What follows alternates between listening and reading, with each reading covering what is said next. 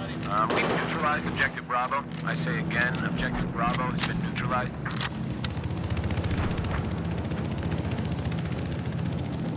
We now control Objective Bravo.